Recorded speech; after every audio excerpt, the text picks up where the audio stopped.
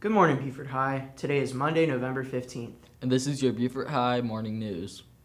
All students are expected to wear their school issued ID badge at all times while on school property and must be worn around your neck and clearly visible at all times. Students not wearing their ID when they enter class will not be allowed to leave the classroom for any reason. Damaged or lost IDs must be replaced at the cost of $10 and can be purchased from the bookkeeper or on the online school payment system. Seniors, please join us Wednesday, November 17th for our scholarship drop in event. This event will take place in Dr. Moss Pinkney's office, room 2106, located in B Pod. This scholarship drop in event will kick off our scholarship raffle.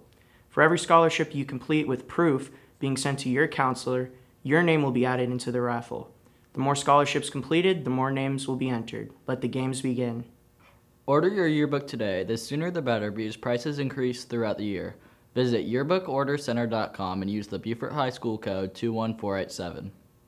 BHS will offer the Armed Services Vocational Aptitude Battery Exam, or ASVAB, for all juniors and seniors on January 13th. Students interested in a career in the military or students that are seeking to become classified as college and career ready with an ASVAB score may sign up. Follow the link on the screen to fill out the registration form. Deadline to register is December 10th. The admissions representatives from Universal Technical Institute, which specializes in auto diesel welding and marine career paths, will visit BHS tomorrow during all lunches in Dr. Moss Pinkney's office. The representative will be available to assist with information about the school, admission scholarship, and FAFSA. For additional information, see Dr. Moss Pinkney in room 2106. Makeup Picture Day for all underclassmen will be today from 9 to 3 in the PAC lobby. All faculty and staff should also come down for pictures anytime between 9 and 3.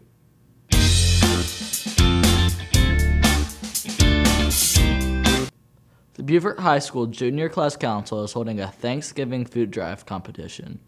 Students are asked to bring in any canned or boxed food items. All items must be turned into the designated class bucket at the entrance of the school and must be turned in by Wednesday, November 17th. The class that brings in the most amount of food will win a non uniform day on Friday, November 19th. Yeah. Uh huh. Congratulations to the following student athletes and coaches for their recent honors.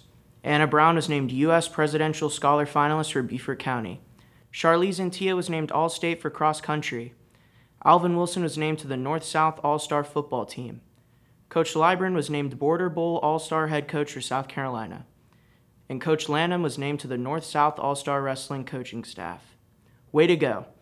That's your sports news. Go Eagles. Ah! Please stand for the Pledge of Allegiance. I pledge allegiance to the flag of the United States of America and to the republic for which it stands, one nation, under God, indivisible, with liberty and justice for all. Please be seated for a moment of silence.